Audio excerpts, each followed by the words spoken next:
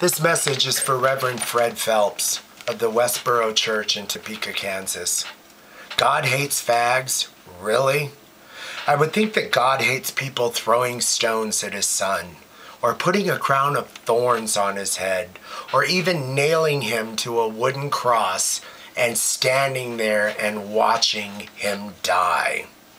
God should hate something that really matters, like, I don't know, Brussels sprouts? God doesn't hate fags, Mr. Phelps. God doesn't hate anyone. You hate fags. For years, I've sat back and listened to you spew your hatred for fags and blame them for all the monstrosities that have happened in the world. In your opinion, we're responsible for 9 11 and all the wars. I didn't know that I had that much power. Wow, I'm a super fag and I control the world. We are not responsible. Terrorists are responsible. You need to wake up and realize just where the responsibility lies. I was appalled and sickened when you picketed Matthew Shepard's funeral. That poor child was murdered for simply being who he is. Did you ever stop and think about how his mother, Judy Shepard, felt looking outside that church and seeing you standing out there condemning her son's soul to hell. I feel sorry for your mother. I know your mother did not raise you to be such a hateful person. What happened in your life that made you hate the world and everybody in it?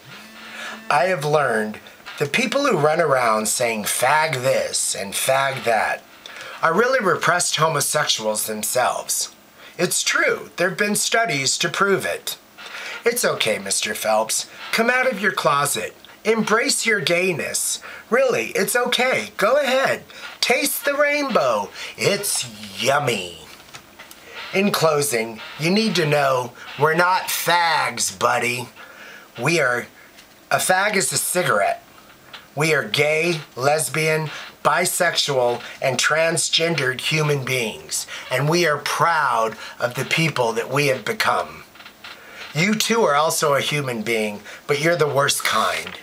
You are the kind that's filled with hatred and disrespect for others.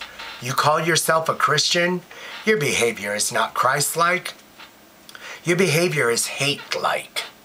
Unless you ask for forgiveness, and repent for your sins, when you're standing before God, He is going to condemn your soul to hell for all eternity. Why don't you just stop? Shut up and let Him sort it out. Because in reality, it's His job, not yours. My heart used to be filled with hatred for you, but now it's filled with pity, shame, sympathy, and disgust. Because really, Mr. Phelps, you disgust me. I am a Christian and I will pray for your soul. I pray the day comes when your soul is filled with love and happiness. Because until then, you're just another hateful person living on my earth. God bless you, Mr. Phelps. Really, God bless him. Please.